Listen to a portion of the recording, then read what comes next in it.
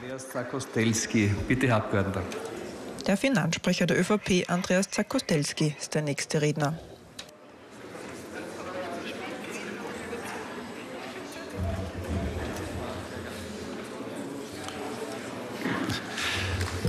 Meine Frau und Herr Präsident, Herr Bundesminister, meine sehr verehrten Damen und Herren, die Europäische Union war bekanntermaßen heuer im ersten Halbjahr bereits in sehr turbulenten Phasen.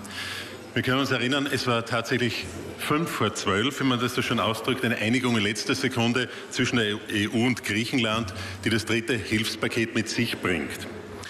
Das war tatsächlich notwendig, um eine Zahlungsunfähigkeit Griechenlands abzuwenden. Es wurde in diesen Tagen immerhin auch bereits ein Ausstiegsszenario Griechenlands aus der EU diskutiert. Und ich glaube, mittlerweile sind wir alle froh, dass es dazu gekommen ist, eine Einigung herbeizuführen. Denn die Folgen eines solchen Austritts wären weder für die EU als solches noch für Griechenland ernsthaft abzusehen. Meine Damen und Herren, eine wichtige Maßnahme dazu unsererseits war, dass wir hier in diesem Hohen Haus am 17. Juli unserem Bundesminister eine Verhandlungsermächtigung erteilt haben, genau diese Verhandlungen effizient herbeizuführen und zu unterstützen auf internationaler Ebene. Leider, leider wurde dieser Beschluss am 17. Juli ohne die Stimmen der blau-grünen Opposition gefasst. Ich habe mich damals auch ernsthaft gefragt, meine Damen und Herren, wo bleibt hier Ihr Verantwortungsbewusstsein? Die wichtigsten Kernelemente der Vereinbarung hat unser Finanzminister bereits ausgeführt.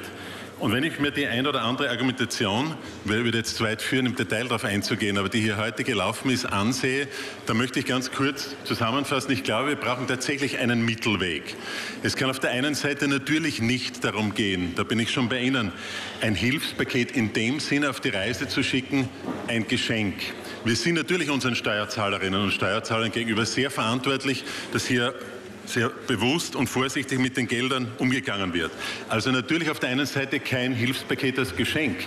Auf der anderen Seite verlangt es aber mehr als nur die europäische Solidarität, sehr wohl auch das wirtschaftliche Bewusstsein, dass es für ganz Europa wichtig ist, diese Solidarität auch auszuüben, dass wir ein Land nicht einfach fallen lassen.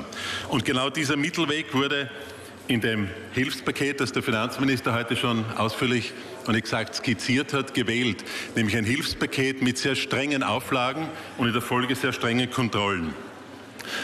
Auch bereits heute diskutiert die berühmte Tragfähigkeit. Ich glaube, wir alle wissen, dass sich gerade der Währungsfonds nur auf ein solches Hilfspaket einlässt. Das wurde auch deutlich von Lagarde kommuniziert, wenn die Tragfähigkeit als gegeben betrachtet wird dass Griechenland diese Tragfähigkeit nun tatsächlich stemmen kann. Das ist in einige Voraussetzungen formuliert worden. Es geht hier natürlich darum, diese umzusetzen. Auf der einen Seite die Hilfsdarlehen erst ab dem Jahre 2023 zurückzuzahlen. Diese Rückzahlungen mit einem sehr niedrigen Zinssatz zu versehen und auch die Laufzeit der Rückzahlungen entsprechend lange zu gestalten. Meine Damen und Herren, der Lärmpegel zeigt, dass die Sitzung sich schon dem Ende zuneigen möchte. Ich bin ganz bei Ihnen. Ich möchte es aber nicht verabsäumen, an dieser Stelle auch festzustellen, dass wir schon gesehen haben, anlässlich des Falles Griechenland, dass es einige Schwachstellen innerhalb der Europäischen Wirtschafts- und Währungsunion gibt. Ich glaube, dass es ganz, ganz wesentlich ist, darauf hinzuweisen, dass eine gemeinsame Währungspolitik ohne gemeinsame Wirtschaftspolitik zu großen Verzerrungen bis zur Manövrierunfähigkeit führen kann.